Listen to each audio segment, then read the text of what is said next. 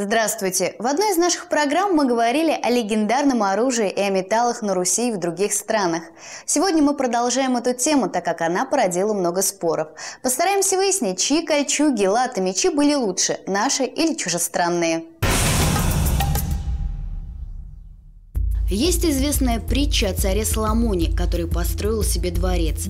Для этого он согнал кучу ремесленников. Когда строительство было завершено, владыка решил поощрить мастеров. Соломон сказал, кто из ремесленников самый главный, кто принес больше всего пользы при постройке моего дворца, может посидеть на моем троне. И один человек без спроса сразу забрался на место царя. Слегка возмущенный царь Соломон спросил, а кто ты такой? Почему ты без спросу занял мое место?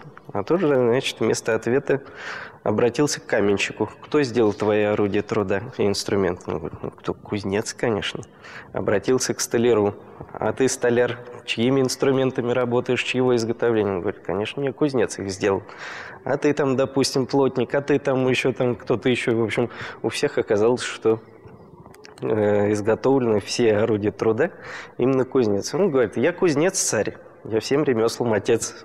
Поэтому я по праву занимаю это место. Ну, и Соломон с ним, конечно, согласился, что тут делать. И у нас на Руси и за границей в давние времена профессия кузнеца была самая почитаемая и уважаемая. Его даже немного боялись, потому что тогда люди знали, это прежде всего колдун. Он соединяет воедино три главных стихии – огонь, воду и металлы земли. Когда он начинает колдовать, получаются какие-то орудия труда или оружие, которые стоят очень дорого. Здесь вот у нас тоже в экспозиции есть э, вещи, которые обычно выпускал кузнец городской, потому что вот в нашей экспозиции, которая называется «От Руси к России», в этом зале, где мы говорим об истории древнерусского города XII-XIII века, кузнечное ремесло достигал, э, занимал, конечно, самое значительное место. И здесь вот показана, конечно, кузница, небольшая вот печурка такой, в которую пытались плавить железо, хотя это э, несколько неправильный термин «плавить железо» для того времени, потому что температуру плавления железа в такой печурке достигнуть не могли еще еще тогда. Недостаточно было жары, скажем так. Вот. А железо просто превращалось в такую мягкую массу, похожую чем-то даже на тесто. Ее несколько раз эту массу проковывали, оттуда вылетал всякий шлак, там вот э, руду эту брали, и, в общем, все эти посторонние материалы из нее уходили, и получалась, можно сказать, такая-то плюшечка чистого железа, которая называлась крица. Известно, что в Рязанском крае изготавливались мечи и ножи по очень своеобразной, можно даже сказать, хитрой технологии. Они состояли состояли из трех сварных полос железа. При их изготовлении использовался такой метод кузнечной сварки. По бокам делались две полосы более мягкого железа, а внутри был более твердый сердечник. Был эффект такой, что чем больше этим мечом рубишь, тем острее он становится. А происходило следующее. Просто вот эти мягкие полосы потихонечку срабатывались. Э, сердечник же более прочно выступал наружу. Получалось, что меч такой самозатачивающийся, что называется.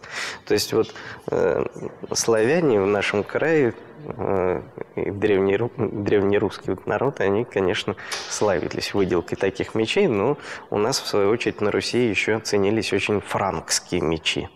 Вот там тоже делали очень неплохое железо. Какие же мечи ценились больше? Мечи вот ценились и русские, франкские мечи. То есть э, вот Э, они, конечно, наиболее, можно сказать, были и у нас на Руси употребительные, скажем так. Хотя мечи были разные по своему составу, конечно. То, что сейчас показывают в фильмах, там какая-то невозможно блестящая сталь, там, которая прям звенит там, и так далее, это, конечно, не совсем правильно. Мечи были железные, они могли после битвы и погнуться – и зазубренными бывали там, и не такие они были красивые, как во «Властелине колец».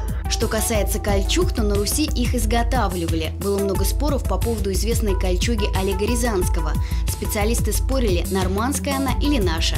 Изучая ее происхождение, удалось выяснить следующее. Это русская кольчуга, э, потому что именно Русь древняя славилась выделкой кольчуг, и Восток. До сих пор ученые спорят, где же все-таки первоначальная родина кольчуги? На Руси или на Востоке. Это наши рязанские мастера ее делали. То есть, э, если это вторая половина XIV века, то даже здесь, вот, возможно, в Переславле-Рязанском существовал такой кузнец, который эту кольчугу создал. Именно здесь, в том городе, который помещался на территории нашего Кремля теперешнюю. Русские кольчуги пользовались спросом, и их покупали из-за границы тоже с удовольствием, и в Западной Европе, потому что западноевропейские мастера делали кольчатые доспехи, но они были чуть похуже качеством чем наши русские кольчуги. Поэтому охотно пользовались нашими. Кольчуга считалась дорогим удовольствием. Ее могли позволить себе в основном только люди состоятельные. Достаточно сказать, что сам процесс ее изготовления был очень трудоемок. На кольчугу э, кузнец мог потратить в среднем 6-8 месяцев. Вот. Или, можно так сказать, 600 метров проволоки, из которых он готовил эти колечки, или в среднем от 10 до 30 тысяч маленьких колечек, скрепленных между собой. И вот получалась кольчуга. По весу она была тоже достаточно разная. Вот эта вот кольчуга весит где-то 7 килограмм с копейками, можно так сказать. А Бывали кольчуги и в 5 килограмм весом, бывали и около 20 килограмм весом. То есть все зависело от размера воина, от той технологии, которую применяет кузнец и так далее. При раскопках у нас нередко находят вот такие замки. Считается, что их родина – Рязанский край. Вот этот цилиндрический замочек навесной – это внутренняя часть душкой с пластинчатыми пружинами, а это ключи к этим замкам. Навесные замки такого типа называются цилиндрическими. Они отличаются от тех, которые мы знаем сейчас следующим механизмом. Ключ вставлялся, но не поворачивался, а вжимался резко, и внутренняя часть душка резко выскакивала из него. Закрыть его можно было буквально щелчком без ключа. Эти замки были распространены по всей средневековой Руси, а родина этих замков считается Рязанский край. Э, они действительно имели вот такую внутреннюю часть с пластинчатыми пружинами. Э, ключ туда вставлялся, не поворачиваясь, просто вжимался, и внутренняя часть, где зажимались пружинки посредством ключа, вынималась, выскакивала. Потом могли просто одно в другое вот так вот вставить, и он защелкивался. Замочки были сложные, потому что промышленного производства, конечно, так нельзя даже представить никакого, да? Все ведь было, в общем-то, руч, ручное. И они не повторяли один другой, вот, поэтому отмычку какой-то серии замков подобрать было невозможно. Надо было для каждого что-то особое придумывать. Кузнецы изготавливали замочки разных величин. В Рязанском Кремле сохранился замок от ворот Глебовской башни. Он весит примерно 8 килограммов. В нем около 50 различных деталей. Сохранился и огромный ключ. Надо сказать, что хоть замок и 17 века, он до сих пор находится в рабочем состоянии. Те же замки, где вот вставляется ключ и поворачивается с дужками, которые до сих пор висят на наших гаражах, сараях такой конструкции, к сожалению, пришли к нам из-за границы, имеют несравненно более простую конструкцию, и вскрыть их намного легче.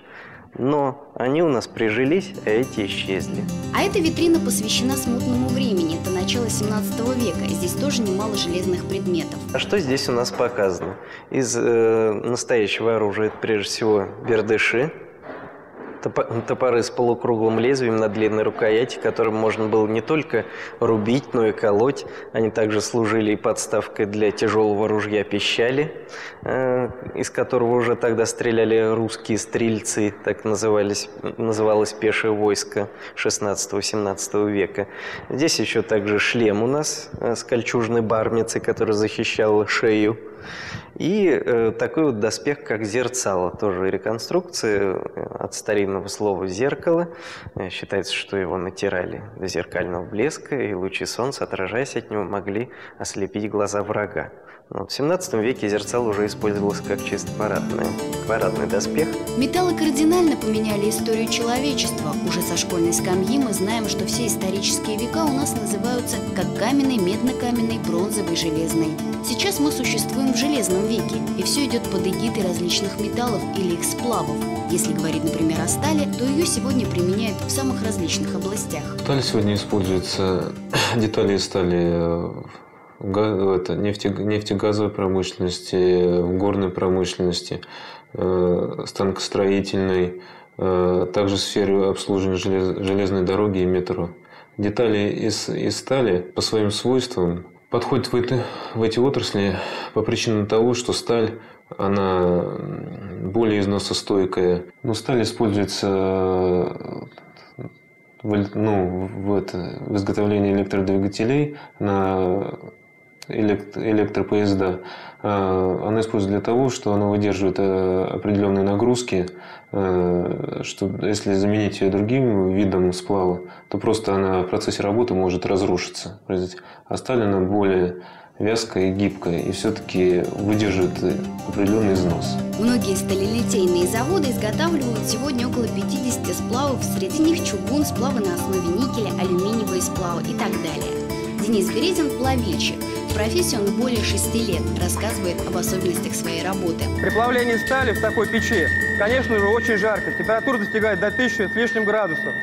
Конечно же, жарко с такой температурой работать, но мы стараемся как-то э, ну, оставлять это на второй план. Нам это очень нравится, и мы гордимся своей профессией. Если быть точным, то температура плавления стали 1800 градусов. Естественно, люди работают в защитной одежде и контролируют каждое свое движение.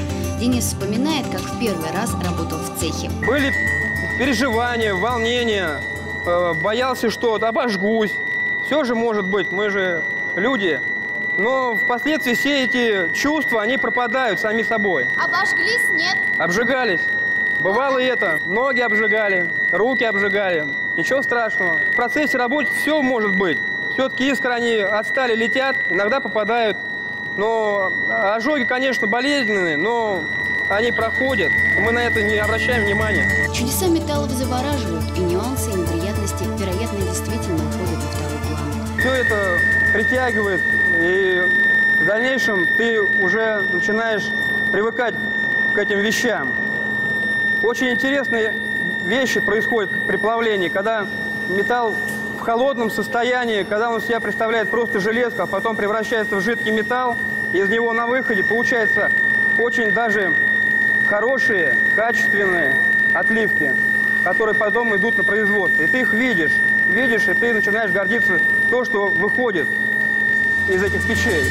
Со временем материалы, возможно, изменятся. Уже сейчас ученые говорят о некоторых необычных разработках. В материаловедении применительно к металлам я думаю, что тенденции такие, что все идет в сторону э, упорядочивания структуры э, материала, наноструктурированные так называемые. Исследования идут в направлении улучшения твердости Э, металлов, э, их пластичности, упругости, э, а также улучшение термических свойств, жаропрочности, уменьшение трения металлических поверхностей.